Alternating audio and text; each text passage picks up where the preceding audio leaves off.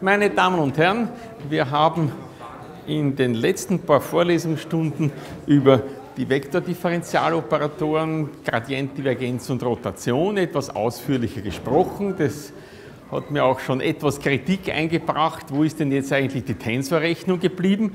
Die kommt schon wieder. Aber die sind so wichtig, diese Vektordifferentialoperatoren, dass äh, es notwendig ist, darüber zu sprechen, was denn eigentlich der Nutzeffekt davon ist, dass man diese Vektordifferentialoperatoren anwendet auf verschiedene äh, Skalare und Vektorfelder. Und Sie werden sehen, wenn man dann auch etwas kompliziertere äh, Koordinatensysteme einführt. Bis jetzt haben wir es ja immer nur mit diesen alltäglichen kartesischen Koordinaten zu tun und das wird auch noch eine Zeit lang so bleiben. Aber dann wird es erst recht wichtig sein, wie man diese für die Anwendung so entscheidenden Vektordifferentialoperatoren dann formulieren kann. Und eines der zentralen Anliegen, die ich dann im jetzt kommenden, also schon laufenden Sommersemester dann mit Ihnen gemeinsam durchgehen werde, ist, wie man denn dieses Differenzieren von Skalaren, aber insbesondere von Vektoren auch verallgemeinern kann für Situationen, wo die äh, Koordinatensysteme nicht so straightforward sind, wie es eben beim kartesischen Koordinatensystem ist. Da zeigt sich, dass es da eine spezielle Schwierigkeit gibt, die es zu meistern gilt, äh, die äh, auftritt, sobald man krummlinige Koordinaten hat. Und das ist nicht erst in der allgemeinen Relativitätstheorie so, schon so, sondern bereits, wenn man zum Beispiel in der Ebene Polarkoordinaten verwendet. Das sind bereits krummlinige Koordinaten. Also Sie brauchen nicht immer gleich an die vierdimensionale gekrümmte Raumzeit denken, wenn es um irgendwelche krummlinigen Koordinaten geht. Äh, oder die Koordinaten in einer Kugeloberfläche das kennen Sie alle aus der Geografie. Ne? Die geografische Länge, die geografische Breite, die Meridiane und die Breitenkreise sind so typische Situationen von krummlinigen Koordinaten. Und dort dann auch diese Vektordifferentialoperatoren anwenden zu können, das erfordert spezielle Vorkehrungen. Um das wird es gehen. Und damit man aber weiß, wozu man das alles tut, muss man wissen, was diese Differentialoperatoren eigentlich tun. Und jetzt haben wir also äh, vor in den letzten zwei Wochen oder so die geometrisch anschaulichen Bedeutungen von Gradient, von Rotation und von Divergenz besprochen. Der Reihe nach, was die Dimensionalität betrifft. Und der Gradient, der wirkt auf ein skalares Feld und die Rotation und äh, wirkt auf ein Vektorfeld und ergibt wieder ein Vektorfeld und dann eben die Divergenz wirkt auf ein Vektorfeld und liefert ein skalares Feld. Und wir haben uns also in den letzten Stunden überlegt, was die geometrisch anschauliche Bedeutung ist. Jetzt werden wir zunächst, um das also plausibel zu machen, anhand ganz einfacher Beispiele gemeinsam durchgehen, damit Sie sehen, dass das also etwas ganz übersichtlich und Klares ist. Wir werden schrittweise für die verschiedenen Differentialoperatoren solche Beispiele durchrechnen, ganz schnell. Das erste Beispiel bezieht sich auf den Gradienten und wir betrachten ein Temperaturfeld.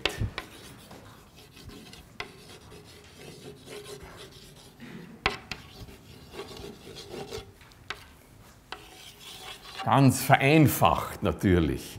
Ein linear veränderliches Temperaturfeld. Die Temperatur T, eine Kelvin-Temperatur, sei eine Konstante A minus eine andere Konstante B mal x3. Ich habe schon gesagt, dabei bleibt es jetzt einmal vorläufig, das wird erst dann nach Ostern anders, äh, dass wir kartesische, also geradlinige Koordinaten haben, die alle so gegenseitig aufeinander senkrecht stehen und die Abstände sind alle Einheiten, also das entspricht zu einem orthonormalen Basisvektorsystem. Deswegen nennen wir es auch x. Die x, das sind die kartesischen. Wir werden dann nach Ostern wenn wir dann zu den krummlinigen Koordinaten gehen, die dann als Q bezeichnen, um sie von den x zu unterscheiden. Wieso ist das ein Temperaturfeld? Die x3-Koordinate, das wählt man meistens so, dass die so senkrecht nach oben steht. Oben, unten, das bedeutet, man ist auf der Erde. Das ist, sonst hat ja oben, unten keinen Sinn. Äh, und x3 gleich 0 ist, sagen wir, am Boden. Und wenn dann x3 zunimmt, dann wird die Temperatur, das 0 ist, ist die Temperatur A. Und wenn das X3 zunimmt, weil da ein Minus steht, ist die Temperatur kleiner. Und wenn das X3 hoch genug ist und die Temperatur 0 wird, hören wir auf. Weil negative Kelvin-Temperaturen haben wir nicht. Das ist ja eben nur eine Näherung für eine Temperaturabnahme mit der Höhe. Ja? Äh, ich schreibe da, da, daneben her T größer als 0. So weit darf das X3 nur gehen in, dieser, äh, in diesem ganz simplen linearen Ansatz. Nun, da rechnen wir uns den Gradienten von T aus. Das ist ein Vektor, der hat die Komponenten dt nach dx1, dt nach dx2 und dt nach dx3 dt nach dx1 ist sichtlich 0, das kommt ja gar nicht vor. Ebenso dt nach dx2, aber dt nach dx3, das ist minus b. Das b ist natürlich da größer 0 angenommen, damit das wirklich abnimmt. Und Sie sehen, der Gradient ist ein Vektor, der entgegen der x3-Achse zeigt, also nach unten. Und nach unten nimmt die Temperatur auch zu. Nach oben nimmt sie ab. Nicht oben am Berg ist kalt und im Tal ist wärmer. Das stimmt natürlich nicht immer, aber das ist eine ganz nullte Ordnung, die da hier steht. Und da sehen Sie, der Gradient zeigt wirklich in die Richtung der stärksten Änderung, denn waagerecht gibt es gar keine Änderungen. Es hängt ja gar nicht von x1 zu x2 ab, nur von x3. Dort ist die maximale Änderung. In Richtung der maximalen Änderung zeigt er. Er zeigt in Richtung zunehmender Temperatur, der nach unten. x3 zeigt nach oben, der zeigt nach unten, weil die Komponente minus b ist da. Und das b ist die Änderung der Temperatur pro Längeneinheit, weil das b mal x3 steht da drin und b ist daher die Temperaturänderung pro Längeneinheit in Richtung dieser maximalen Änderung. Und schon fertig. Und Sie sehen, dass durch dieses Gradientbilden man unmittelbar einen Vektor kriegt, der diese Eigenschaften hat. Er zeigt in die Richtung der maximalen Änderung und sein Betrag ist diese maximale Änderung pro Längeneinheit. Zweites Beispiel. Festkörperrotation, Wirbel.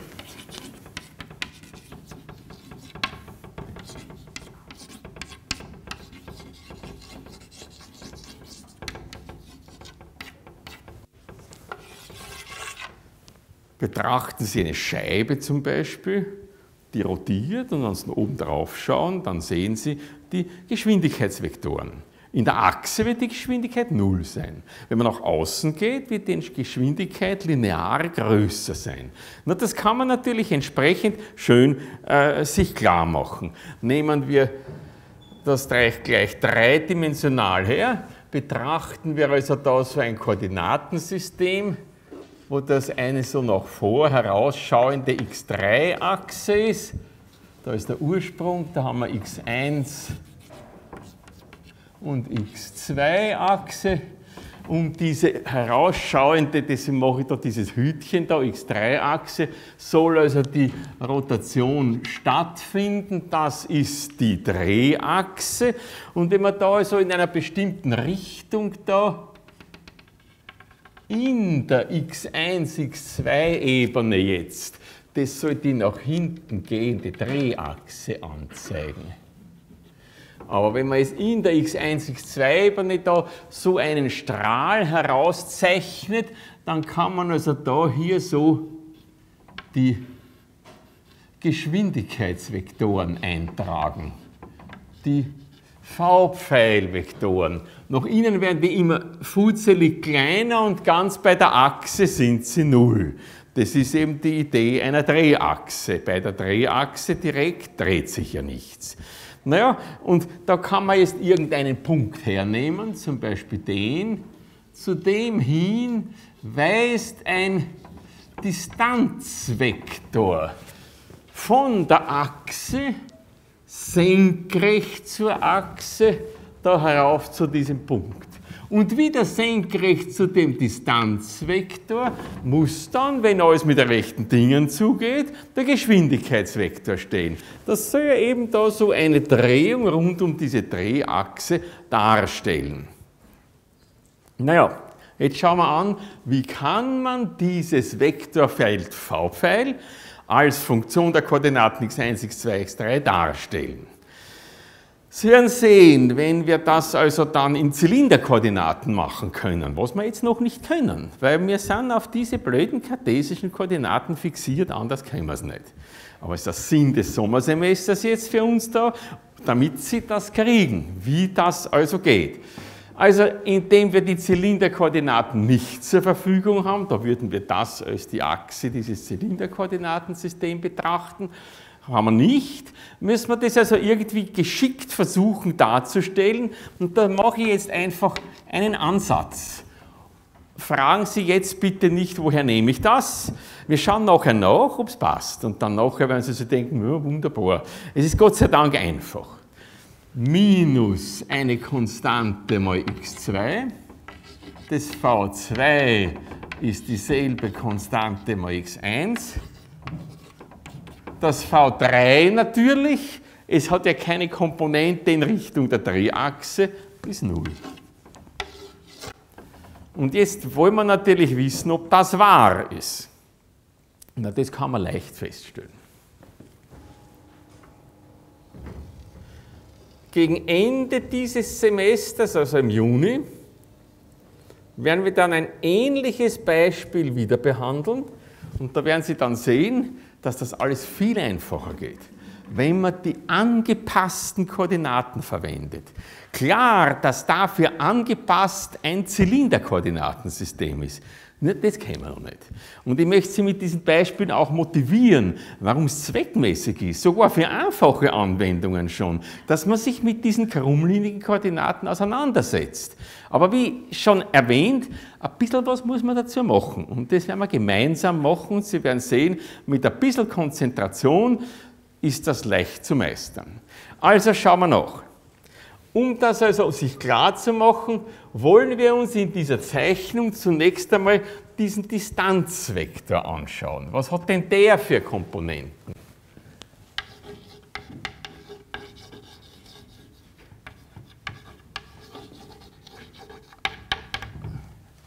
Dieses D-Pfeil, der liegt einmal in der x1, x2-Ebene. Da zeigt er so herauf zu dem betrachteten Punkt P, x1, x2, x3. Der hat daher mal die x3-Komponente 0.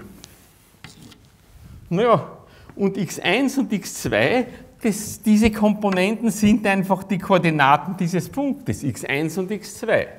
Also x1, x2 und 0 ist dieser Distanzvektor. Wohl zu unterscheiden von einem Ortsvektor. Denn der hat die Koordinaten x1, Komponenten x1, x2, x3. Der geht immer vom Ursprung aus überall hin, während der geht immer von der Achse aus. Wenn Sie sich woanders hinsetzen, auf einem Punkt da zum Beispiel irgendwo, dann wäre der Distanzvektor wieder ein solcher Distanzvektor steht da wieder senkrecht. Also die Distanzvektoren, die wir betrachten, haben immer die Koordinatkomponenten x1, x2, die dritte ist 0. Der zeigt immer die Normaldistanz des betrachteten Punktes von der Drehachse an.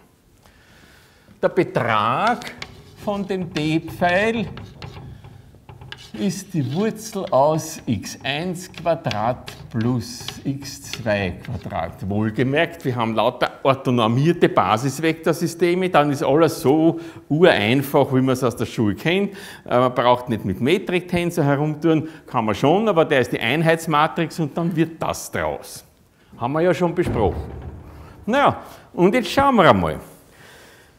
Damit das also richtig ist, diese Darstellung des Geschwindigkeitsvektors, muss er einmal immer senkrecht auf diesen Distanzvektor stehen. Auch hier wieder muss er dann der Geschwindigkeitsvektor so gerichtet. Das Ganze dreht sich so um diese Achse herum.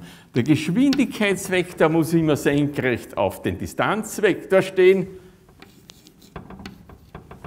Und außerdem, der Betrag des Geschwindigkeitsvektors muss mit zunehmendem Abstand hier linear zunehmen. Und im Ursprung selber oder auf der Achse selber muss es dann Null sein. Sonst ist ja keine sinnvolle Festkörperrotation. Na, das können wir jetzt anschauen. Schauen wir einmal an, wie schaut es denn aus mit dem Skalarprodukt v mal d. Warum mache ich das? Denn wenn es 0 ist, dann wissen wir, sie sind senkrecht aufeinander. Nur versucht man. v mal d geht wieder in kartesischen orthonormierten Basisvektor an v1 d1 plus v2 d2 plus v3 d3. V1 D1, das ist minus Cx2 x1 plus V2 D2 ist plus Cx1 x2 plus V3 D3, das ist 0 mal 0. Mehr kommt also nicht. Minus Cx1 x2 plus Cx1 x2 ist tatsächlich 0. Das war der geniale Ansatz, nicht? dass das so ist, dass das 0 ist dann, so wie es gehört. Ja, und jetzt wollen wir aber außerdem wissen, wie schaut es denn aus mit der Länge des Geschwindigkeitsvektors. Ja, dann rechnen wir uns das aus. Der Betrag von v-Pfeil ist Wurzel aus v1 Quadrat plus v2 Quadrat plus v3 Quadrat v1 Quadrat ist c Quadrat x2 Quadrat plus v2 Quadrat ist plus c Quadrat x1 Quadrat. v3 Quadrat ist 0. Was bleibt stehen? c kann man herausheben aus dem Ganzen. Mal Wurzel aus x1 Quadrat plus x2 Quadrat und die Wurzel aus x1 plus 2x2 ist der Absolutbetrag von d. Und daraus folgt, dass der Betrag von v gleich ist c mal den Betrag von d. Wunderbar. Wenn der Distanzvektor 0 ist, dann befindet man sich in der Achse, dann ist der Betrag 0 und die Geschwindigkeit auch 0. Und dieses Betrag d ist der Abstand, der Normalabstand von der Drehachse. Und proportional zu diesem Normalabstand wird die Geschwindigkeit größer. Also ich glaube, damit habe ich Sie hoffentlich überzeugt, dass dieses einfache Vektorfeld da tatsächlich die Eigenschaften hat, die wir haben wollen. Nämlich, das zeigt dann eben diese Festkörperrotation, dieses Ringelspiel rund um die X3-Achse. Vielleicht wäre es jetzt irgendwie didaktisch gescheiter gewesen, die Achse nach oben zu zeigen, dann kann man sich das Ringelspiel so vorstellen, aber es geht gleichermaßen. Naja, und jetzt, wenn da schon so eine Rotation ist, dann liegt es doch nahe, dass das was mit einer Zirkulation zu tun haben wird. Daher rechnen wir uns die Rotation von V-Pfeil aus.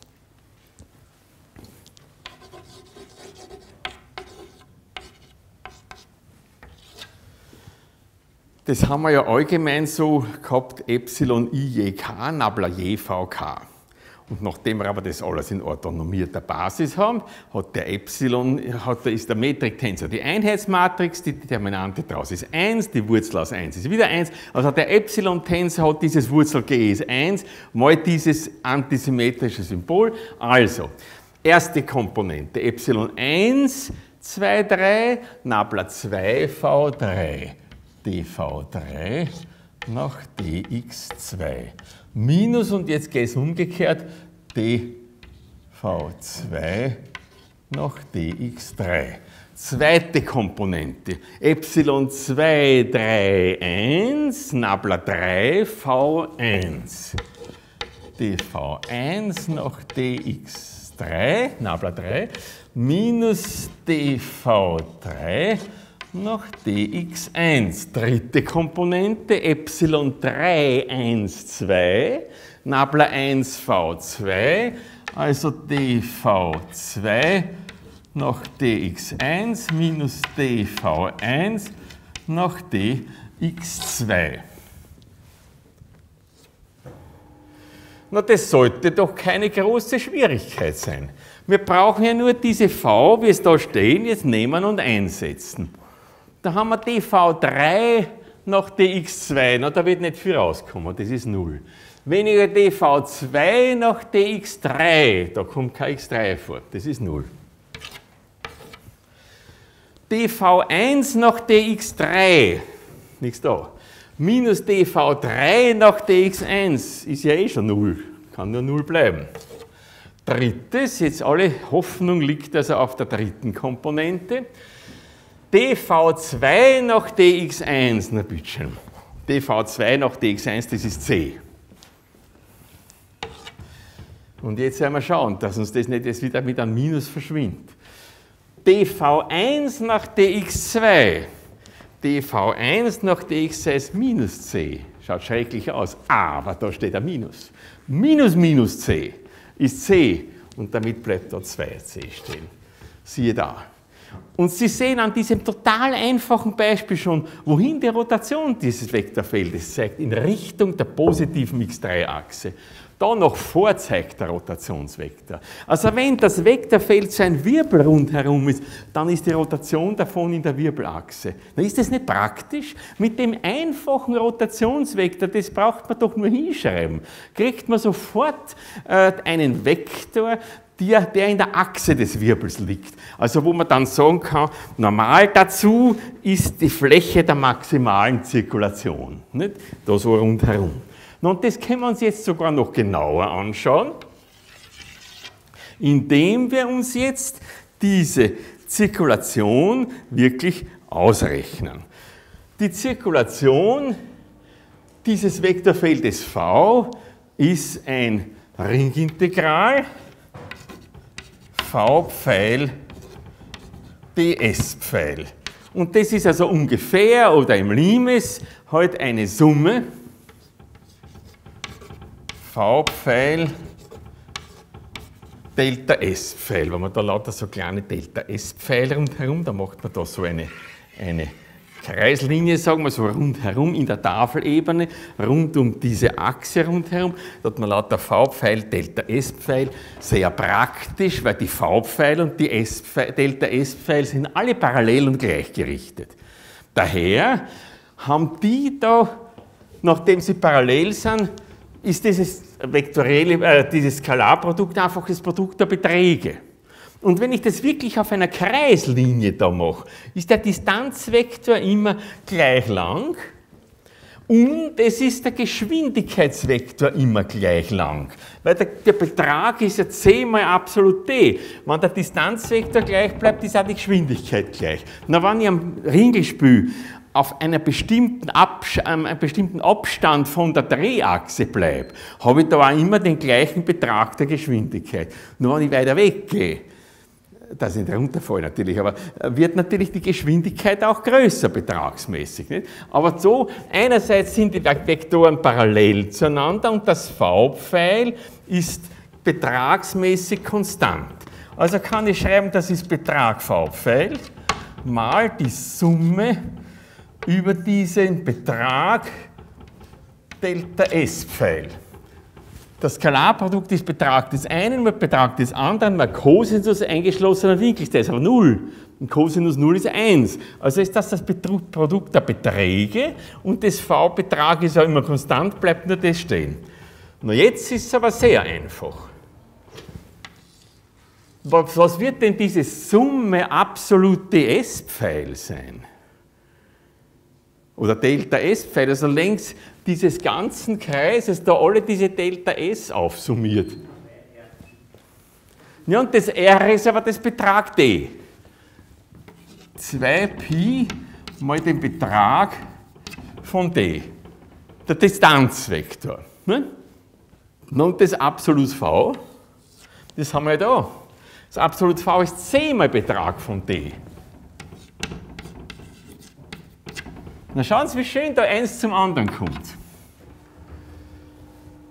Was bleibt? 2π Pi c 2 Pi, also c mal 2 Pi d Quadrat.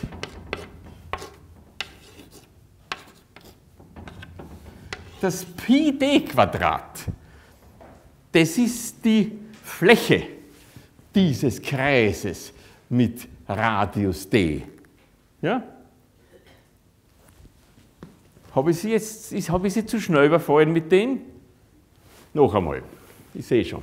2πd ist der Umfang dieses Kreises. c mal d ist die Länge von dem Vektor v, der da entlang geht. Jetzt muss ich das multiplizieren, dann sind 2c mal 2πd Quadrat. Dieses absolut d ist der Radius dieses Kreises. Pi d ist die Fläche dieses Kreises. Und so bleibt daher stehen, das ist gleich 2c mal der Kreisfläche. Das 2c, das kommt da oben gerade vor. Das ist der Betrag des Rotationsvektors. Nachdem der nur 0, 0 und die 2c hat, ist das schon der Betrag. Wurzel aus 0 Quadrat plus 0 Quadrat plus 4c Quadrat. Ist daher 2c ist der Betrag des Rotationsvektors und Sie sehen, das hier ist die Zirkulation und die Zirkulation dividiert durch die Kreisfläche ist die Zirkulation pro Flächeneinheit und das ist genau dieses 2c. Also wir haben mit diesem ganz einfachen Rotationsvektor erstens auf einen Schlag die Richtung der Drehachse und noch dazu liefert uns der Betrag von dem Rotationsvektor eben die Zirkulation pro Flächeneinheit. Wer hat eine Frage dazu? Verstanden? Na wunderbar. Okay. Damit sollten Sie also den Gradienten und die Rotation jetzt wirklich schön verinnerlicht haben. Ich möchte Ihnen dadurch insbesondere zeigen, wie praktisch das ist. Es ist nicht nur, um die Studierenden zu quälen, sondern weil man wirklich was Nützliches damit machen kann. Und dass das nützlich ist, hoffe ich Ihnen hier heute mit diesen total einfachen Beispielen vorführen zu können. Das ist die sogenannte Wirbeldichte. Zirkulation pro Flächeneinheit, das haben wir uns jetzt gerade ausgerechnet, in denkbar einfacher Weise, als Betrag vom Rotationsvektor. Jetzt denken Sie sich, wenn Sie ein Magnetfeld haben, das irgendwie so zirkuliert und einen Feldwirbel bildet, und was müssen Sie machen, damit Sie schauen, wo die Achse ist? Die Rotation bilden. Rotation V zeigt in der Achse. Und dann ist das die Richtung des elektrischen Leiters, der dann umschlossen wird von dem Wirbel. Und schon steht alles da. Wenn Sie das einmal verstanden haben, ist, sind die Maxwell-Gleichungen für Sie ein offenes Buch. Es steht einfach nur in formalisierter Weise das da, was man eben weiß, dass ein Stromdurchfluss einer Leiter sich mit einem magnetischen Feldwirbel umgibt. Es ist einfach nur elegant und schön. Man muss es nur das Buch lesen können. Und wir sind gerade dabei, die Buchstaben entsprechend klar zu machen. Letzte Sache, und dann sind wir mit diesen Beispielen auch schon wieder fertig. Das war jetzt das Beispiel 2, der Wirbel, die Festkörperrotation.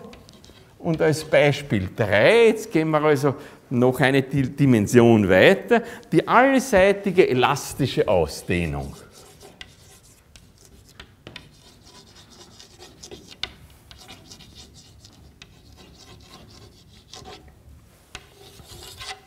Also von einem Punkt aus dehnt sich zum Beispiel ein Gas nach allen Richtungen aus.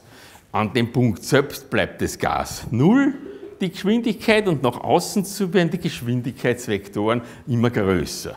Wie wird das also ausschauen? Wenn wir da wieder so ein Koordinatensystem betrachten, wo da so der x3-Vektor meinetwegen nach vor zeigt und x1, also nicht Vektor, die, die x3-Achse, entschuldigen Sie, x1-Achse, x2-Achse, x3-Achse.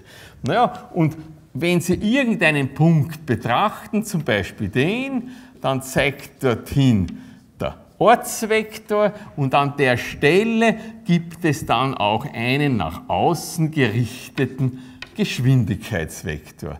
Ganz in der Nähe von dem Ursprung werden diese Geschwindigkeitsvektoren noch ganz kleine Vektorchen sein, weil im Ursprung sind sie ja null und nach außen zu werden diese Vektoren dann immer größer wenn, und gehen also radial nach außen, weil nach außen dieser Expansionsvorgang immer mehr in Schwung kommt, sozusagen. Denken Sie an ein Gas in einem kugelförmigen Container und Sie saugen nach allen Seiten aus diesem Container das Gas aus und betrachten, was tut das Gas im Inneren. Ganz in der Mitte wird es gar nichts tun und nach außen wird die Geschwindigkeit dieser Gasmoleküle immer, die konvektive Geschwindigkeit immer größer werden. Sie haben da so eine allseitige elastische Ausdehnung. Verständlich? Ist, glaube ich, sehr einfach vorzustellen. Und jetzt haben wir es in dem Fall noch viel einfacher. Diese Vektoren V-Pfeil da hier äh, entsprechend darzustellen. Da werden wir sie, mir sie sofort klar sein, dass man das V1 gleichsetzen kann als c mal x1, V2 ist c mal x2, V3 ist c mal x3. Der Ortsvektor R-Pfeil hat die Komponenten x1, x2, x3 an irgendeinem Punkt hat der Ortsvektor die Komponenten, das sind die Koordinaten dieses Punktes, irgendwo im Raum. Und dieser Geschwindigkeitsvektor v-Pfeil ist einfach c mal diesem Ortsvektor r-Pfeil halt ein Vielfach. Es zeigt immer in die gleiche Richtung. Je größer der Ortsvektor ist, je weiter man weg ist, desto größer wird der Geschwindigkeitsvektor sein, je länger. Im Ursprung ist der Ortsvektor 0 und das ist auch der Geschwindigkeitsvektor 0. Also das ist noch viel, viel einfacher als das, was wir da hier gehabt haben. Da haben wir also schon dieses Vektorfeld. Das spielt also genau diese Stückeln, die wir haben wollen. Das V-Pfeil ist also parallel zu dem Vektor R-Pfeil.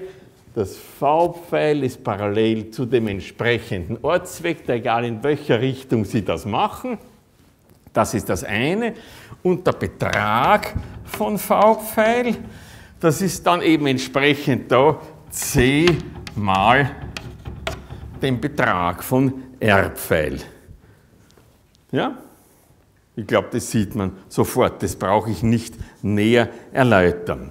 Naja, und jetzt, nachdem da etwas nach allen Richtungen sich ausdehnt, ist es hier jetzt eher so, dass man sich überlegt, was ist, wenn ich da eine Kugel, jetzt eine Kugel, wohlgemerkt, das war ein Kreis in der x1, x2-Ebene oder in einer der zu parallelen Ebenen. Jetzt betrachten wir eine Kugel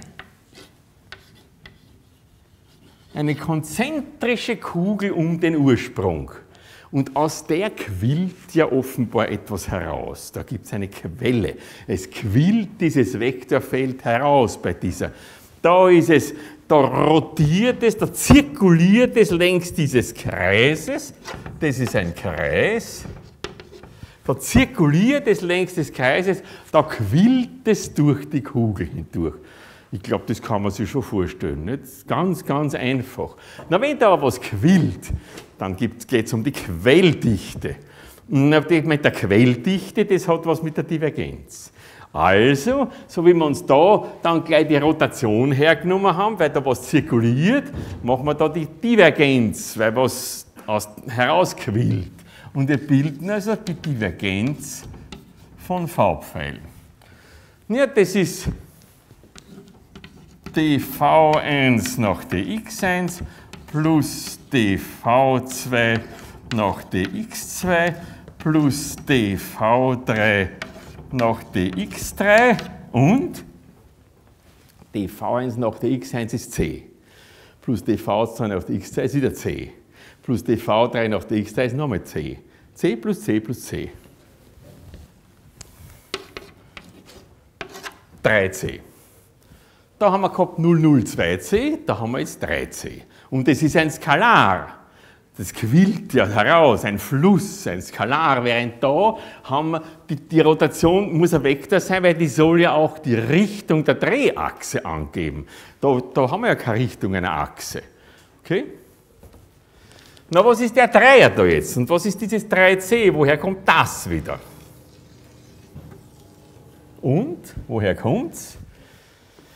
Wir rechnen uns, so wie wir uns hier die Zirkulation ausgerechnet haben, rechnen wir uns jetzt hier den Fluss aus dieser Fläche heraus, aus dieser Kugelfläche.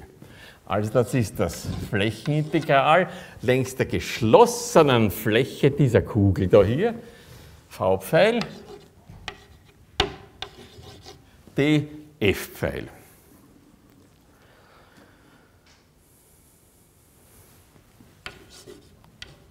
Und das, das ist also der Fluss.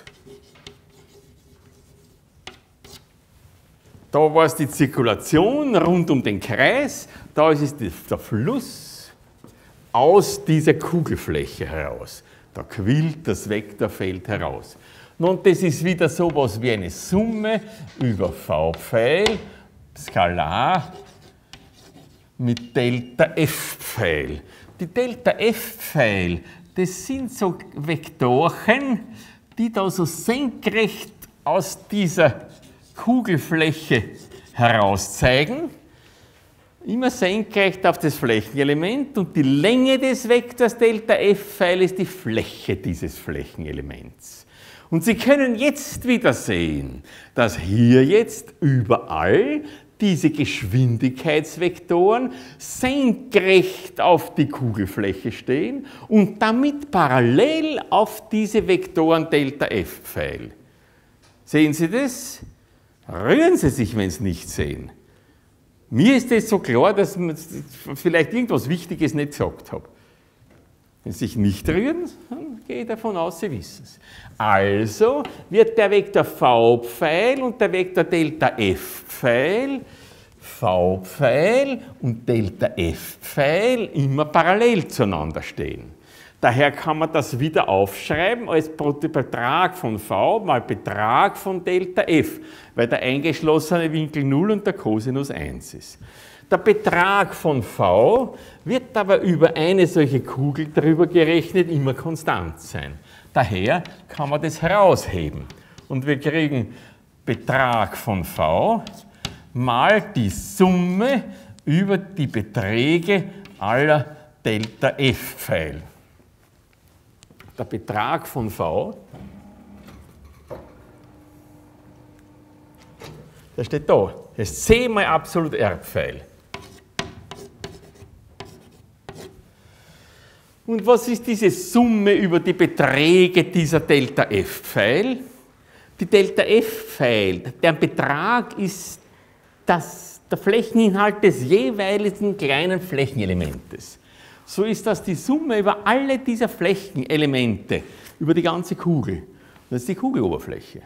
Und das ist 4pi r Quadrat. Also 4 Pi äh, mal Betrag r Pfeil zum Quadrat. Klar? Da haben wir den Umfang, Summe über Delta S Pfeil gehabt, 2 Pi Radius. Da haben wir 4 Pi Radius Quadrat, weil es jetzt eine Fläche ist, um die es da geht. Habe gesagt, wir gehen dimensionsmäßig hinauf. Naja, was kriegen wir da?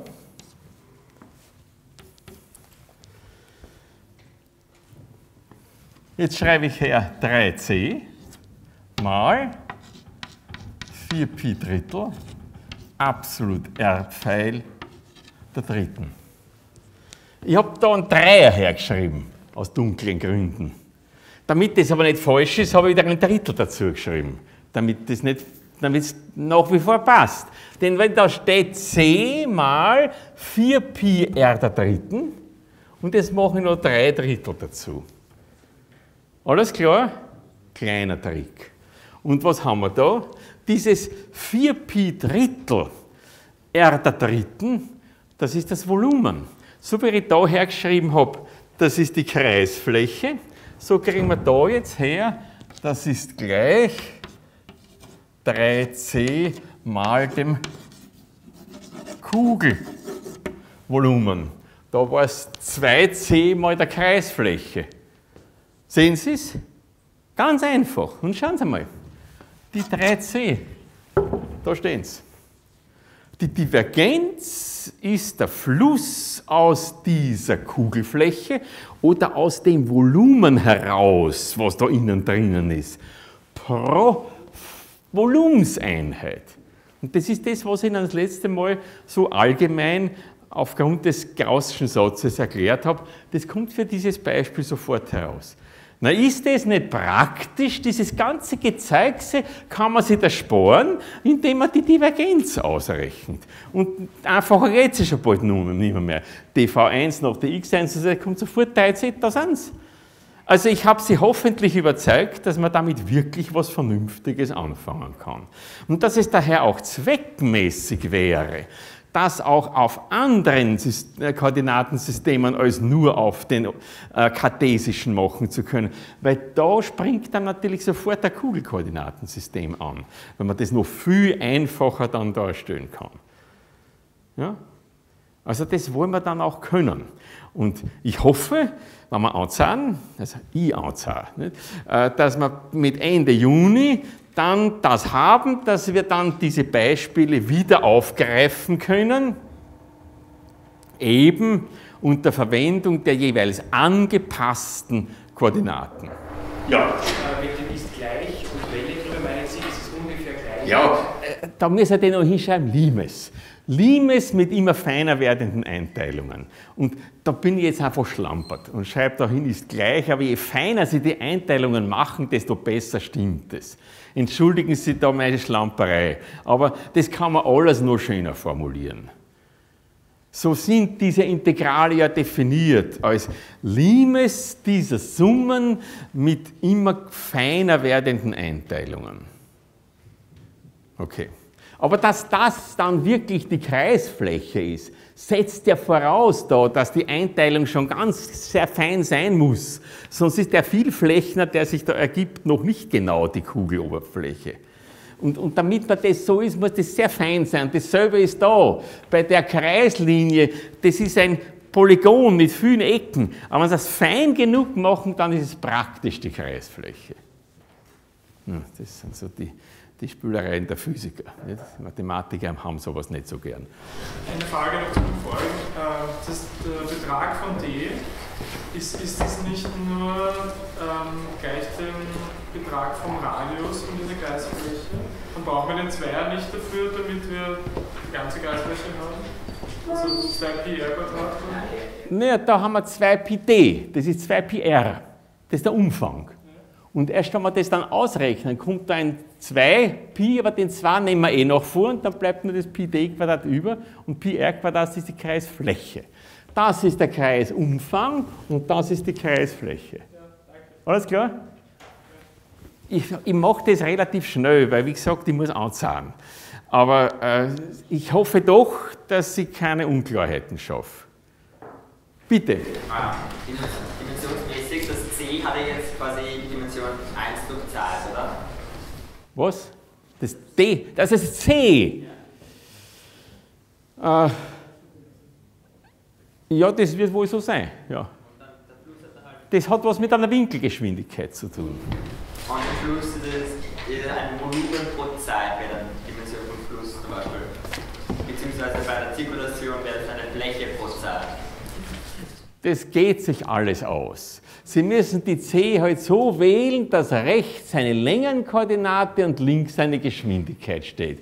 Und da ist es so, dass wir da eben dasselbe praktisch haben. Das C hat also endlich in beiden äh, äh Beispielen die gleiche Dimension. Ja? Ähm, ich wollte nur wissen, quasi diese, diese, dieses, wie soll ich sagen, das Volumen pro Zeit was ist das? Kann Was ich heißt das in der physikalischen Bedeutung? Dieses das ist nicht Volumen pro Zeit, sondern Fluss pro Volumenseinheit. Fluss pro Volumenseinheit. Weil der Fluss ist diese Konstante mal dem Kugelvolumen. Daher ist der Fluss pro Volumenseinheit das 3c. Und analog hier, Zirkulation ist gleich das mal Kreisfläche. Da ist Zirkulation pro Flächeneinheit 2c. Und das kann man sich dann leicht überlegen, dass das alles dimensionsmäßig passt. Okay? Gut. Damit kommen wir zu einer wichtigen, zur letzten Sache, die noch mit diesen Vektordifferentialoperatoren zusammenhängt. Aber eigentlich der Schlussstein, der Ihnen jetzt zeigen soll, was eigentlich im Kern für die Physik wichtig ist. Nämlich, ich nenne es Punkt 15, Einführung von Potentialen.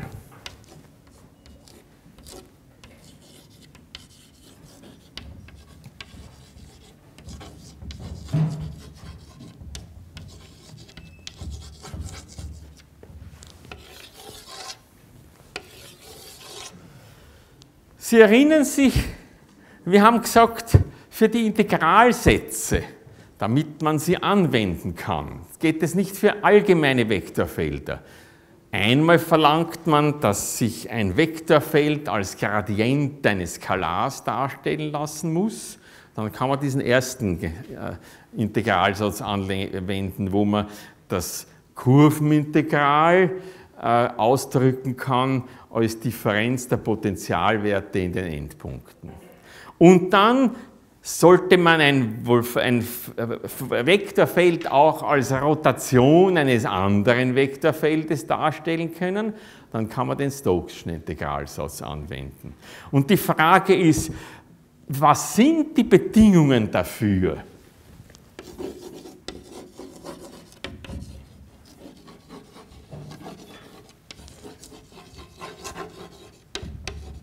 Dass sich entweder das V-Pfeil als Gradient Lambda darstellen lässt. Lambda ist das skalare Potential. Oder dass sich ein Vektorfeld als Rotation eines anderen Vektorfeldes darstellen lässt. A-Pfeil ist das Vektorpotential. Also unter welchen Bedingungen geht das? Das sieht man ja einem Vektorfeld zunächst nicht so an, ob man das wirklich kann und ob man daher diese Integralsätze, die das verlangen, anwenden kann. Und da möchte ich jetzt etwas äh, anführen, was wir noch vor Weihnachten besprochen haben. Es gilt nämlich zwei Identitäten. Rotgrad ist 0,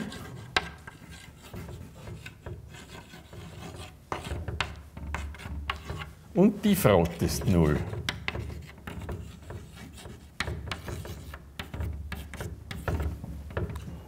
Das kann man sehr leicht nachweisen. Nur aus den Definitionen dieser Differentialoperatoren. Haben wir durchgeführt. Ich hoffe, Sie erinnern sich. Wenn nicht, können Sie zurückschlagen und sich das anschauen. Das ist keine spezielle Weisheit, sondern braucht nur Einsetzen in die Definition und es kommt identisch heraus. Ja, was bedeutet das? Falls sich, kann man daraus schließen. Folgerung.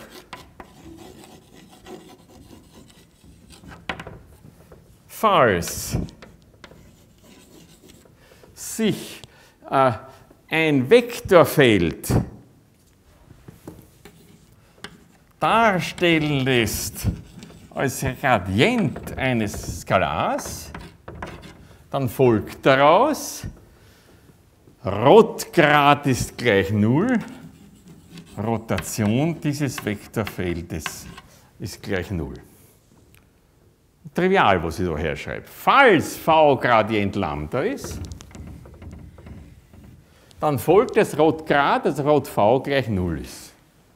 Und entsprechend, falls das Vektor v-Pfeil, Vektorfeld v-Pfeil gleich der Rotation eines Vektorfeldes a-Pfeil gleich ist, v-Pfeil ist rot a, dann folgt daraus, dass Divergenz v-Pfeil gleich 0 ist. Divergenz rot a muss gleich 0 sein. Ja, und jetzt werden Sie sich fragen, und? Was soll das jetzt? Ja. Es wäre natürlich schön, jetzt braucht man wieder rote Kreiden und da habe ich natürlich wieder keine. Ach, nur Splitter. Ob man aus denen noch was machen kann. Also mal schauen.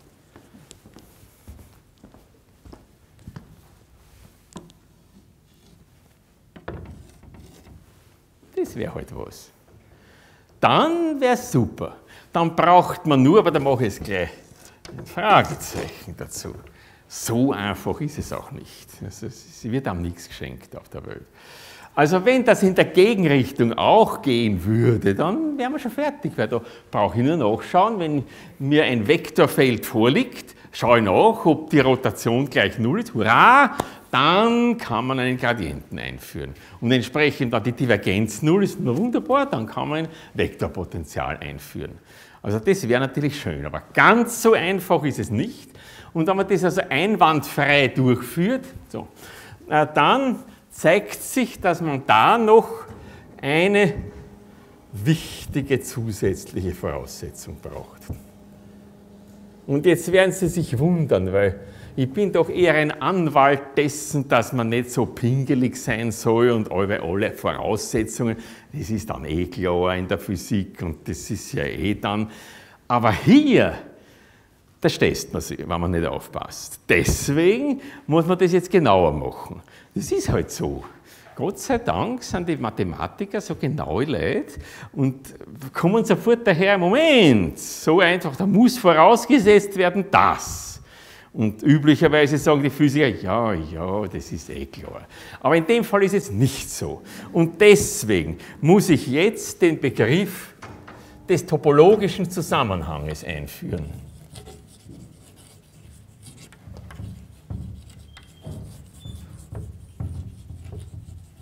Jetzt werden Sie sich wahrscheinlich wundern, was treibt er jetzt? Das ist wirklich unglaublich. Man braucht diese Dinge. Aber es ist Gott sei Dank auch wieder relativ leicht anschaulich zu machen, wenn man wieder nicht zu genau ist.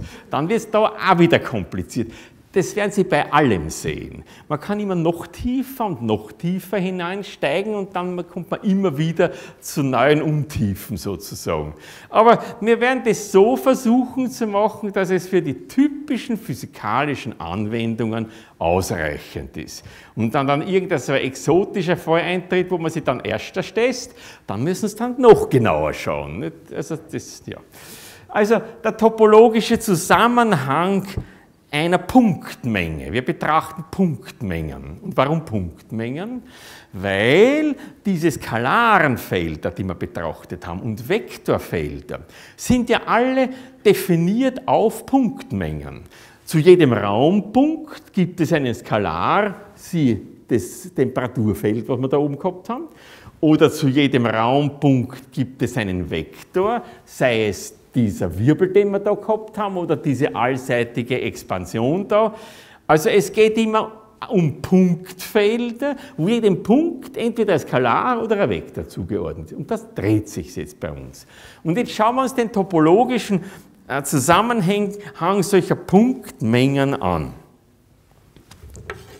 Null zusammenhängend oder Weg zusammenhängend ist eine Punktmenge dann, wenn je zwei Punkte innerhalb der Punktmenge miteinander verbunden werden können. Je zwei Punkte können verbunden werden.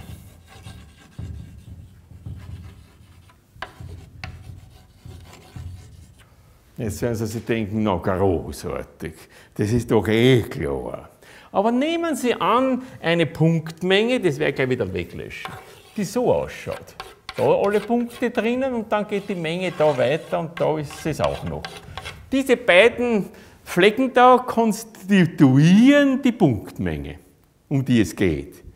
Jetzt können nicht je zwei Punkte immer. Natürlich innerhalb von dem einen Flecken können die schon da miteinander verbunden werden. Aber natürlich ist man dann boshaft und nimmt einen Punkt da und einen Punkt da und da bleibt man schon hängen. Da kann man halt bis daher gehen und dann da erwartungsvoll bis daher gehen, aber es geht nicht. Also diese Menge ist nicht null zusammenhängend. Ich glaube, das ist leicht verständlich. Das lässt sich natürlich sehr scharf mathematisch formulieren und das mache ich nicht. Das nächste ist 1 zusammenhängend. 1 zusammenhängend ist eine Punktmenge dann, wenn jede geschlossene Kurve auf einen Punkt zusammengezogen werden kann. Jede geschlossene Kurve kann auf einen Punkt zusammengezogen werden. Naja, wenn man sich das überlegt, kommt man schon drauf, da könnte man schon Schiffbruch erleiden. Wenn man also zum Beispiel so eine, so eine Fläche nimmt, in der Tafelebene und dann nimmt man da so ein Stückel heraus. Die Punktmenge ist jetzt nur das. Und das ist zweidimensional. Das liegt so jetzt so in der Ebene, eine zweidimensionale Punktmenge. Na gut, wenn Sie jetzt zum Beispiel da so eine geschlossene Kurve nehmen, dann können Sie wunderbar da auf einen Punkt in der Mitte zusammenziehen, der auch noch zu dieser Menge gehört. Aber klarerweise sucht man sich alle Möglichkeiten aus und dann nimmt man sich eine Kurve, die da rundherum geht und das zieht man natürlich zusammen, aber erwartungsvoll bleibt man dann an den Lochhänger und man kann sie nicht auf einen Punkt zusammenziehen. Das heißt, so wie Sie aus so einer Punktmenge sowas herausnehmen und es genügt eigentlich nur einen Punkt herauszunehmen, dann spießt er sie an dem Punkt schon. Und damit verliert die Menge den Eins-Zusammenhang. Auch das ist, glaube ich, klar. Und jetzt geht es noch, das lässt sich natürlich alles in allen Richtungen auf N-Dimensionen verallgemeinern, aber wir machen nur noch einmal weiter, was man sich heute halt so schön anschaulich vorstellen kann. Zwei zusammenhängend. Und da können Sie sich jetzt schon vorstellen, jede geschlossene Fläche kann auf einen Punkt in der Menge zusammengezogen werden.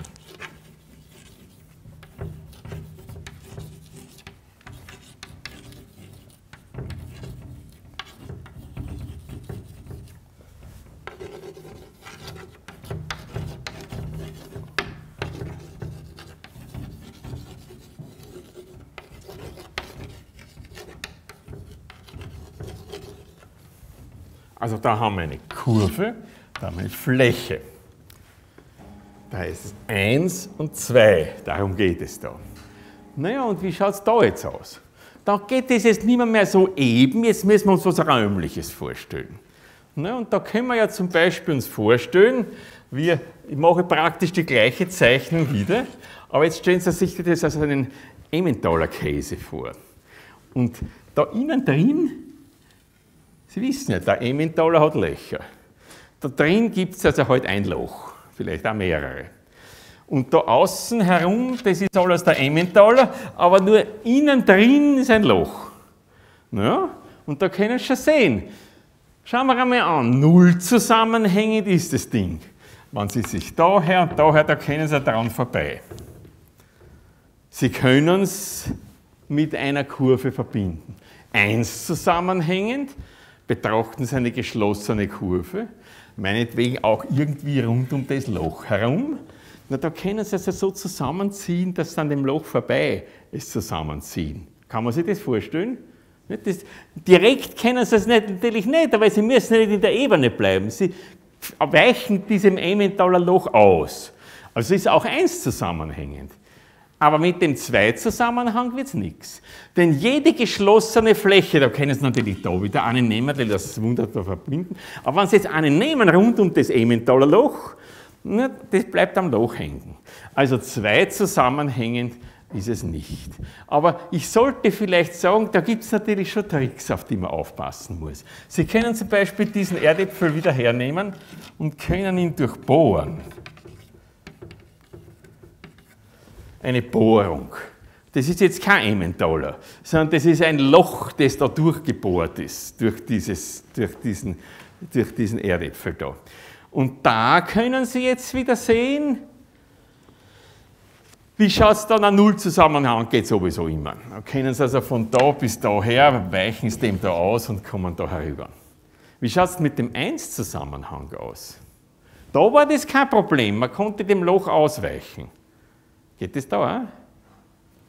Wenn Sie da eine Kurve da so rundherum legen, da bleiben Sie spätestens an irgendeinem Rand hängen, Sie kommen nicht drüber, weil das Loch geht durch und durch. Sie können nirgends mehr das zusammenführen. Wie schaut es mit zwei zusammenhängend aus?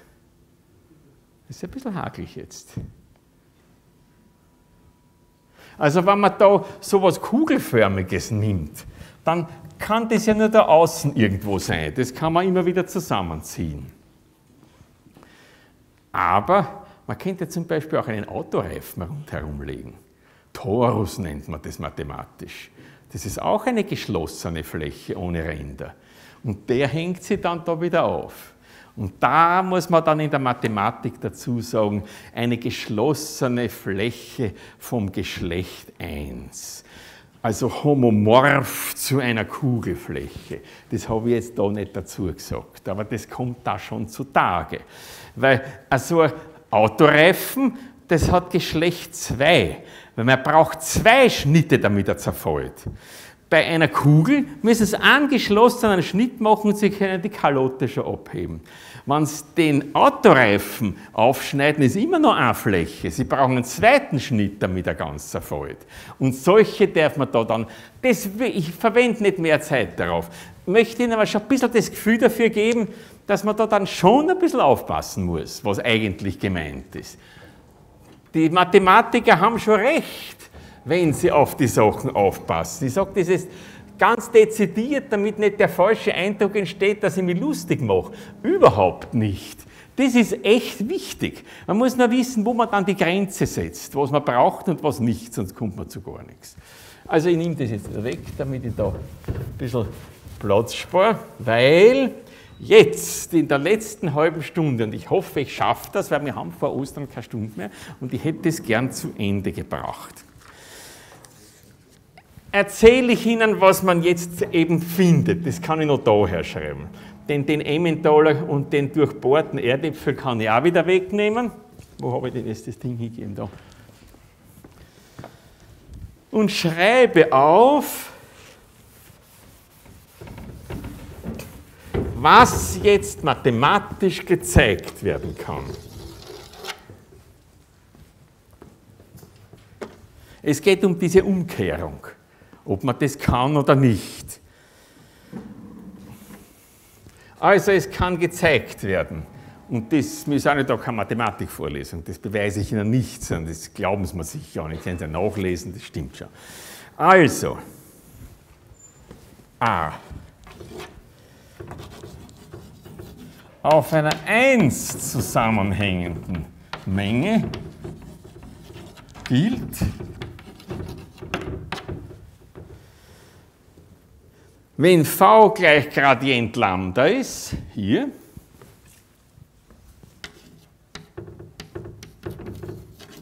ebenso ist das gleichbedeutend damit, dass eben die Rotation v gleich 0 ist.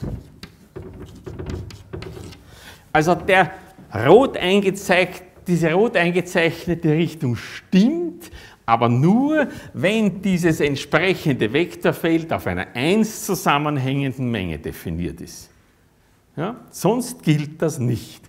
Und b auf einer 2 zusammenhängenden Menge gilt das auch wieder hin und her. V gleich Rot A ist gleichbedeutend mit Divergenz V gleich 0. Das heißt, einerseits, damit Sie wissen, ob jetzt sich ein Vektorfeld als Gradient oder als Rotation darstellen lässt, müssen Sie einmal nachschauen. Wie schaut die Rotation und die Divergenz aus? Und Sie müssen den topologischen Zusammenhang der Definitionsmenge überprüfen. Erst dann wissen Sie es. Das, was man sich also dann am genauesten merken sollte, ist die sich daraus ergebende Folgerung.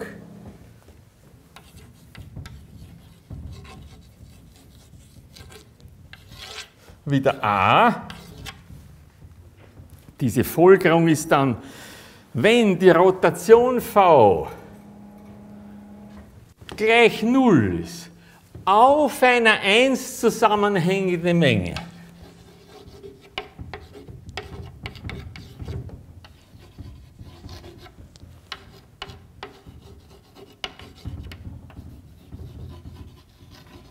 Dann folgt daraus, dass sich das V als Gradient Lambda darstellen lässt.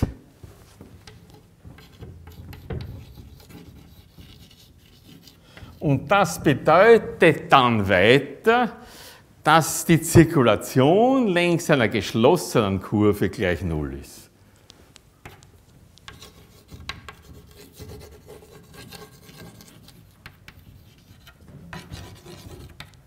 Schreiben wir Zirkulation gleich Null. Ja?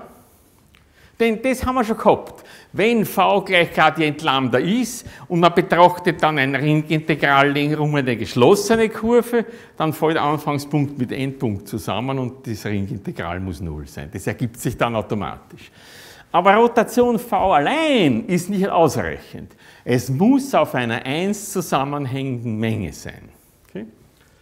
Und die zweite Folgerung, b, die sich daraus ergibt, entsprechend, jetzt aus dem da unten, Divergenz V gleich 0.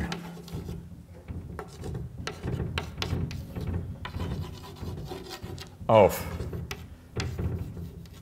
Zwei zusammenhängender Menge.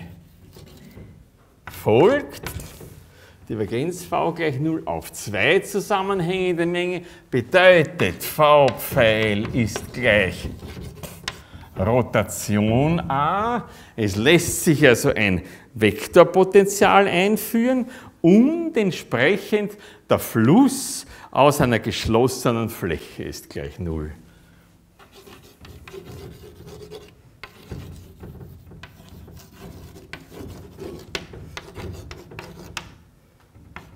Da war es Zirkulation längs einer geschlossenen Kurve. Aber Zirkulation ist immer längs einer geschlossenen Kurve definiert. Fluss kann aber auch aus irgendeiner Fläche heraus sein. Aber Fluss aus einer geschlossenen Kurve gleich Null, wenn eben, äh, aus einer geschlossenen Fläche gleich Null, wenn die Divergenz gleich Null ist. Divergenz Null, Fluss gleich Null. Naja, und jetzt zum Abschluss. Wir haben noch 20 Minuten. Möchte ich Ihnen zeigen,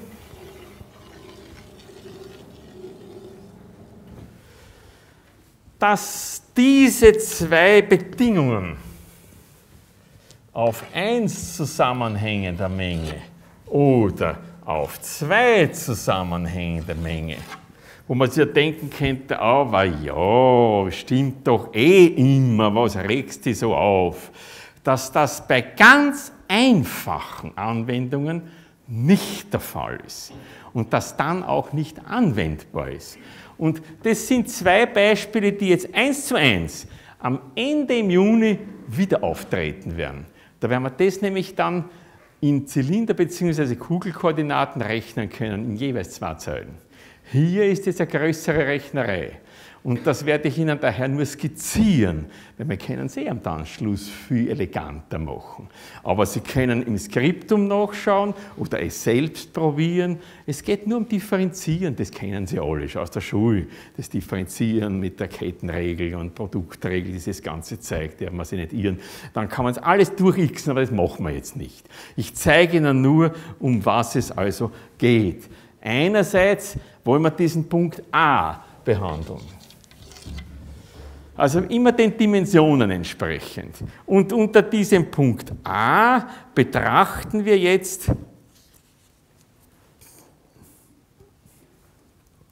das Magnetfeld rund um einen Stromleiter.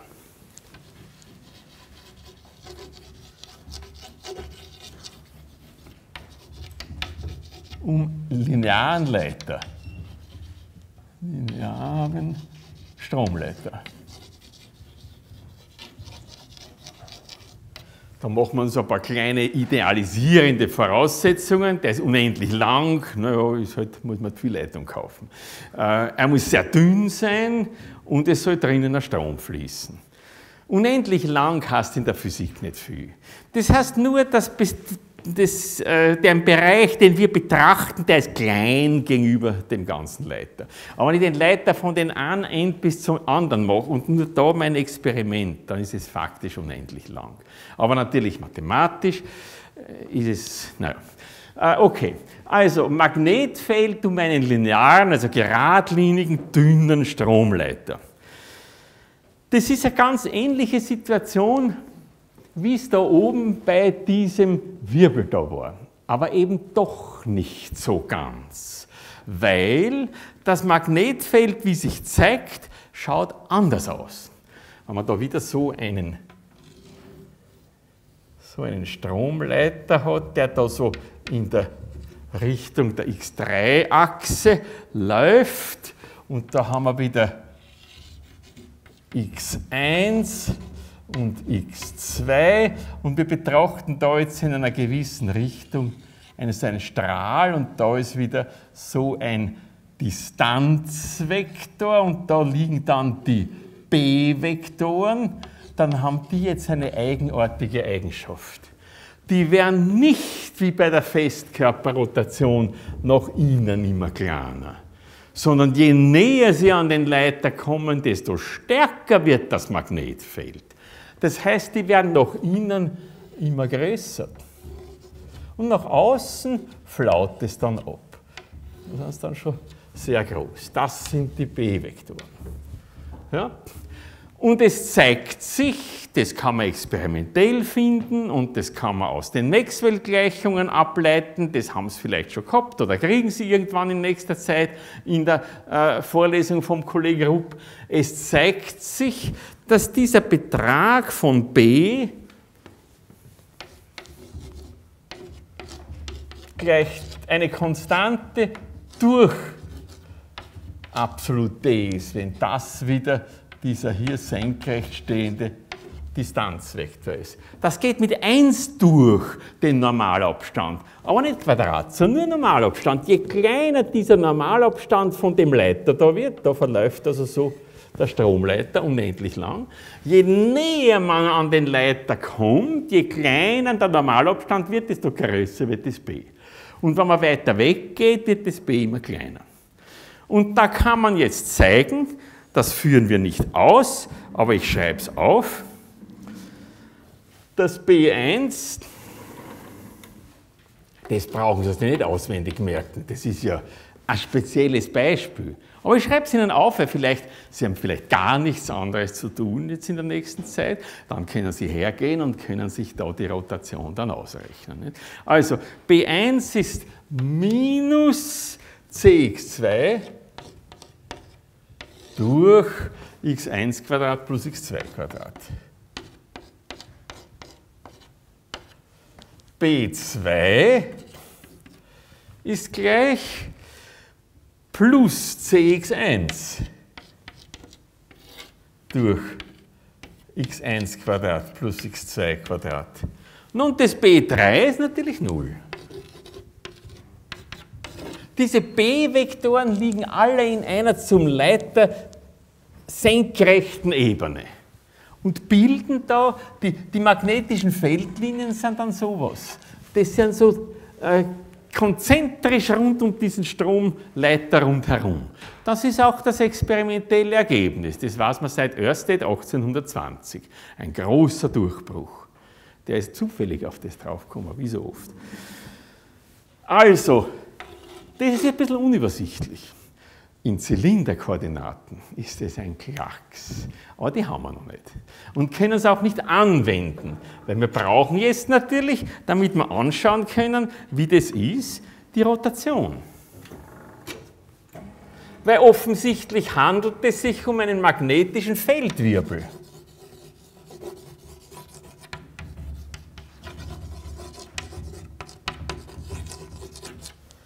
Und da kann man sich natürlich mit genau demselben, was wir da oben verwendet haben, erste Komponente dv3 nach dx1, dv1 nach dx3 etc., das alles ausrechnen, db1 nach dx3, db3 nach dx1. Na, da haben sie natürlich die Quotientenregel und was der Teufel, das tun wir jetzt nicht an. Aber das ist nicht schwierig, das kann jeder von Ihnen und jede kann das. Und ich glaube, ich habe es im Skript umstehen, wie das geht. Aber das ist eine, eine, kleine Übungsaufgabe. Aber das tun wir jetzt nicht, damit wir dafür die Zeit nicht vertun. Wesentlich ist das Ergebnis, was wir da haben. Es stellt sich nämlich zur großen Überraschung heraus, man findet,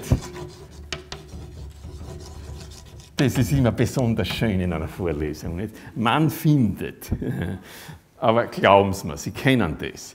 Man findet, dass die Rotation B-Pfeil gleich Null ist. Na, Brack. Das ist ja schrecklich. Da hat man so einen, einen magnetischen Feldwirbel und jetzt ist die Rotation gleich Null. Jetzt werden Sie sagen, wieso? Ist doch dasselbe wie da oben. Ist es nicht. Weil da oben werden die Vektoren nach außen, wo sind sie? Da. Immer länger. Weil innen ist fast nichts bei der Rotation, nach außen nicht immer mehr. Da, da innen sind sie aber innen so lang und außen werden sie klein. Eine andere Situation. Wie kann das sein? Naja, denn wenn man jetzt sagt, wenn die Rotation gleich Null ist, was heißt denn das? Dann müsste ja v als Gradient Lambda dargestellt werden. Dann müsste man das b als ein Gradient eines Skalars darstellen können. Das stimmt aber nicht. Das kann man nicht bei den Magnetfeldern. Ja, jetzt kann es eigentlich nur daran liegen, dass das, das, die Menge, der Definitionsbereich von dem B-Feld nicht eins zusammenhängend ist, weil dann fällt das zusammen. Dann stimmt es ja nicht. Und jetzt schauen wir uns an, wie schaut denn der Definitionsbereich aus? Ist er eins zusammenhängend? Sind alle Punkte im Raum Menge des Definitionsbereichs? Nämlich, wo fällt es? Im Leiter. An das denkt man natürlich normalerweise nicht. Aber da divergiert es ja, da steht ja ein durch absolut D. Im Leiter ist die Distanzvektor 0, da hockt mehr drin in dem Leiter. Und dann wird das ja nicht mehr definiert. Im Leiter ist das B-Feld nicht definiert. Und daher ist das Definitionsgebiet nicht eins zusammenhängend und daher gilt der Satz gar nicht. Denn Rotation gleich Null stimmt schon, aber es ist nicht auf einer eins zusammenhängenden Menge und daher ist die Folgerung überhaupt nicht richtig. Es lässt sich also der Gradient des V nicht als Gradient eines skalaren Potentials darstellen. Ganz wichtig. Ja? Und wieso gibt es sowas? Eigentlich müsste man doch rechnen, wenn das Rotation äh, b gleich 0 ist, dass eben dann irgendwie äh, das mit der Zirkulation auch über ein Null ist. Und da kann ich Ihnen sagen, wenn Sie längs eines solchen Kreises eine Zirkulation Ringintegral BDR ausrechnen, dann kommen Sie auch auf eine endliche Zirkulation aber das umfasst einen Bereich, wo ein Punkt nicht drinnen ist. Das ist der Unterschied. Während da oben haben wir das machen dürfen, weil die ganze Kreisfläche war Teil des Definitionsbereiches. Auch die Achse selber, da war der Vektor halt Null, ist auch Vektor, ist auch der Nullvektor. Dagegen da ist im Stromleiter das Feld gar nicht definiert. Das heißt, das ist natürlich eine Folgerung aus der Idealisierung. Denn es gibt ja keine unendlich dünnen Leiter. In Wirklichkeit hat er eine gewisse Dicke und wenn man das genauer anschaut, dann ändert sich da dann, das geht dann nicht so wild weiter, sondern es wird dann eben nicht so und dort gibt es dann auch eben entsprechende Bereiche, wo die Rotation B ungleich Null ist. Aber wenn man das also so auf die Spitze treibt gewissermaßen, dann handelt man sich das ein, dass der Zusammenhang nicht gegeben ist aber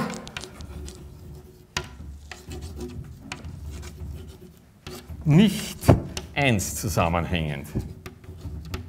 Jetzt könnte man den Bereich eins zusammenhängend machen, indem man zum Beispiel da so eine Halbebene von dem Leiter weg irgendwo ins Unendliche einfach herausnimmt aus dem Definitionsbereich. Willkürlich.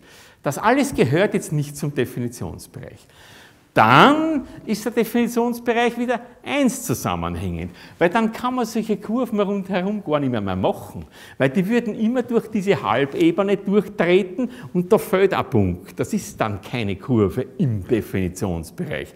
Mit diesem Schnitt vom Leiter ins Unendliche vermeidet man, dass es äh, geschlossene Kurven rund um den Leiter gibt. Und für irgendwelche anderen Kurven ist die Zirkulation auch null, nur rund um den Leiter nicht.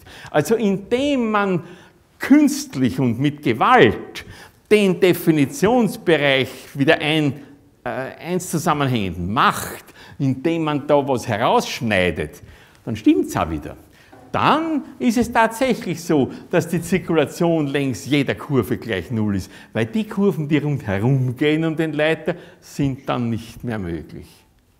Ja? Und jetzt machen wir noch B.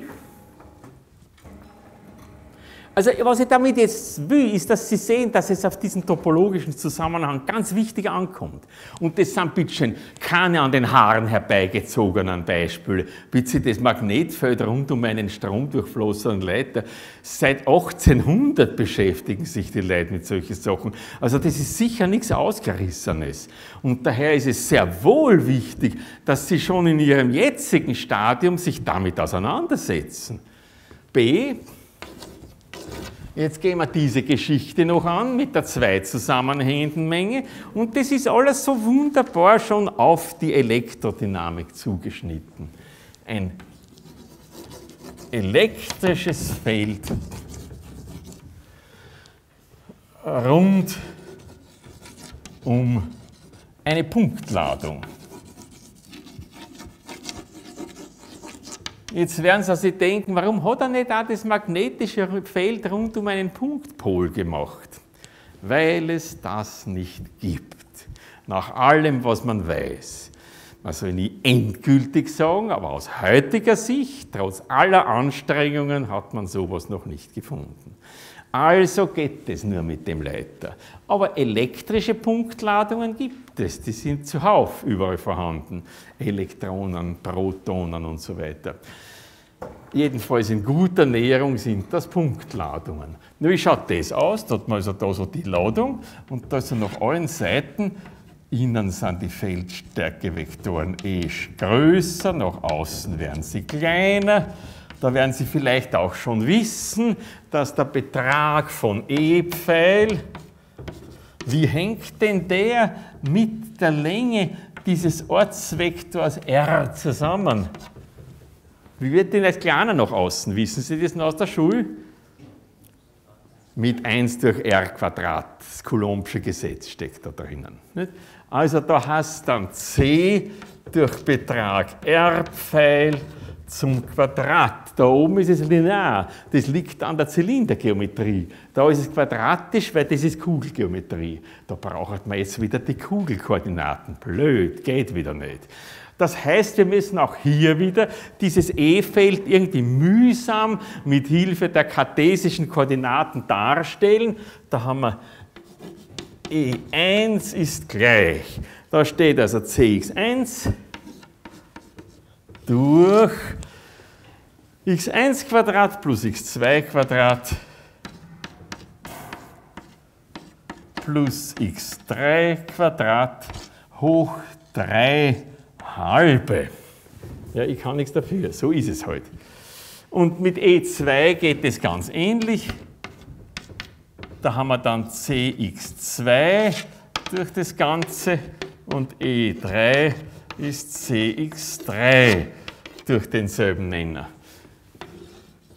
So unsympathisch lässt sich also dieses Feld in kartesischen Koordinaten darstellen.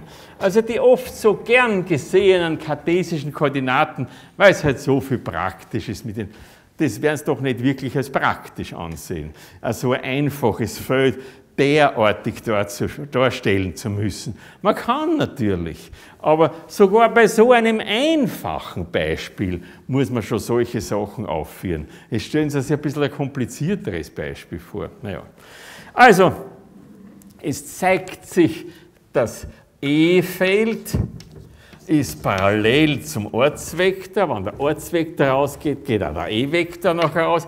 Aber es zeigt sich auch, dass der Betrag des E-Vektors gleich 1 durch den Betrag des Ortsvektors, also des Abstandes zum Quadrat ist.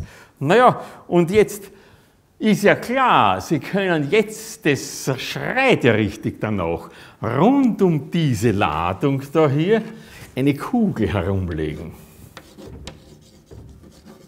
Und aus der quillt nach allen Richtungen das E-Feld heraus. So wie es da längs der Kurve herumzirkuliert, das B-Feld. So quillt es da aus der Kugel. Das ist alles gesunder Menschenverstand. Ich finde, mehr ist es gar nicht. Man muss es sich nur so klar machen. Äh, also daher gibt es da natürlich eine Quelldichte, würde man meinen. Nicht? Und daher liegt es natürlich auf der Hand, dass man sich was ausrechnet? Na, die Divergenz natürlich.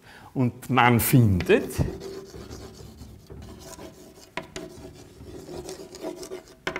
Also wenn Sie ein bisschen Zeit finden, sollten Sie sich zumindest eins von diesen beiden man findet, selber durchrechnen. Wissen Sie, was das dann für ein Erfolgserlebnis ist? Wenn das wirklich rauskommt, das ist dann Ihrs. Jetzt haben Sie dieses Beispiel. Nein, also ich will Ihnen ein bisschen, vielleicht finden Sie über Ostern die Zeit. Ja eines der schönsten Sachen, die es gibt, dass man sich seine Divergenz ausrechnet. Nicht? Naja. Also, Divergenz E-Pfeil kommt heraus 0. Und jetzt sollte man meinen, wenn Divergenz E-Verhältnis 0 ist, dann haben wir das da, dann muss der Fluss aus jeder geschlossenen Fläche gleich 0 sein. Na, das ist ja deppert, denn jeder sieht, dass aus der geschlossenen Fläche sehr wohl was herauskommt. Aber ein einziger Punkt fehlt und es stimmt schon nicht. Weil in der Ladung drinnen ist der Ortsvektor gleich 0. Dort ist dieses Vektorfeld nicht definiert in nur einem Punkt. Und schon bricht die ganze Geschichte zusammen. Weil dieses Definition, der Definitionsbereich von dem E ist eben nicht zwei zusammenhängend. Nicht jede geschlossene Fläche, zum Beispiel die, lässt sich auf einen Punkt zusammenziehen, weil die, der Punkt, wo die Ladung steht, dort ist das Feld nicht definiert. Dort divergiert es, weil nach innen wird es immer größer und größer mit 1 durch r Quadrat, ganz ordentlich sogar. Und das ist dann also die große Katastrophe sozusagen, direkt in der, an der Stelle dieser Punktladung. Und daher ist dieser Satz in dem Fall gar nicht anwendbar. Aber auch hier kann man die Geschichte wieder dadurch bereinigen, dass man mit Gewalt den Definitionsbereich zwei zusammenhängend macht. Man kann hineinstechen. Von ganz weit weg mit einer Nadel bis, in den, bis zur Punktladung. Wenn Sie einen solchen Halbstrahl bis ins Unendliche nehmen und rausnehmen aus dem Definitionsbereich, willkürlich. Dann sind nämlich geschlossene Flächen rund um die Ladung nicht mehr möglich. Dann fällt immer ein Punkt in der geschlossenen Fläche. Und wenn Sie irgendwo außen eine geschlossene Fläche machen, da ist auch alles in Ordnung. Es darf nur nicht rund um die Ladung herumgehen. Und so sehen Sie, und das möchte ich, dass Sie jetzt von dem mitnehmen, dass es auf den topologischen Zusammenhang der Menge, auf der diese Felder definiert sind, ankommt. Ja? Und ich kann Ihnen jetzt auch sagen, das äh, ist jetzt noch für beide Fälle sozusagen die Anwendung im Zusammenhang mit den Maxwell-Gleichungen. Die Maxwell-Gleichung für das Rotation B ist Rot B ist gleich μ0 mal je, das ist die Stromdichte, plus was zeitabhängig ist, aber wir machen da nichts zeitabhängiges, daher fällt, fällt das hier nicht ins Gewicht. Die Rotation des B-Vektors ist μ0 mal je, parallel zum je-Vektor. Jetzt werden Sie sagen, wie gibt es denn das? Da oben kommt 0 heraus. Aber wir haben doch einen Strom durch diesen Leiter durch. Dann stimmt ja die Gleichung nicht das ist ja nur punktweise. In allen Punkten außerhalb dieses stromdurchflossenen Leiters ist ja die Stromdichte gleich Null. Sie ist nur im Stromleiter ein Wert ungleich Null. Aber im Stromleiter ist das B-Feld hier gar nicht definiert. Wenn Sie irgendwo außerhalb sitzen, fließt dort kein Strom. Dort befindet sich nicht einmal eine Ladung. Das ist Vakuum. Und daher, wo kein Strom fließt, ist die Rotation B gleich Null. Und nur dort haben wir uns es ja ausgerechnet, weil im Leiter ist das Feld ja nicht einmal definiert. So wichtig ist der Zusammenhang. Und entsprechend für das E-Feld haben wir Divergenz E ist gleich Rho durch Epsilon 0. Rho ist die elektrische Ladungsdichte. Jetzt finden wir da, die Divergenz ist gleich 0. Oh Gott, der arme Maxwell hat sich geirrt. Keineswegs, weil dieses Divergenz E gleich Null gilt nur für den Bereich außerhalb der Punktladung. Und dort ist die Ladung gleich Null. Nur in der Punktladung nicht. Und dort können wir es eh nicht ausrechnen für diesen Fall. Also ist das alles konsistent. Und ich möchte Ihnen damit eben zeigen, dass diese Überlegungen mit dem topologischen Zusammenhang von größter Bedeutung sind für die physikalische Anwendbarkeit dieser Zusammenhänge, die ja letzten Endes bedeuten, ob man wo ein skalares Potenzial oder ein Vektorpotenzial einführen kann. Da sind diese Zusammenhänge, eins zusammenhängend und zwei zusammenhängend, von ausschlaggebender Bedeutung. Das ist jetzt gleich sozusagen der Startpunkt für das, wohin wir jetzt nach Ostern hinwollen. Wir werden jetzt beginnen nach Ostern uns mit krummlinigen Koordinaten, mit Kurven und Flächen zu beschäftigen, neue entsprechende Basisvektoren einzuführen, alle unsere Erfahrungen aus dem Wintersemester anzuwenden und dann letzten Endes dazu überzugehen, das wird unser großes Ziel, wie man skalare und insbesondere Vektorfelder, wenn sie auf krummlinigen Koordinaten definiert sind, differenzieren kann, sodass man Divergenz Rotation und Gradient auch in beliebigen Koordinaten ausrechnen kann. Weil dann diese Geschichten hier ein Klacks werden. Man muss nur den Formalismus haben. Und wenn Sie durchhalten, dann haben Sie ihn Ende Juni. Frohe Ostern!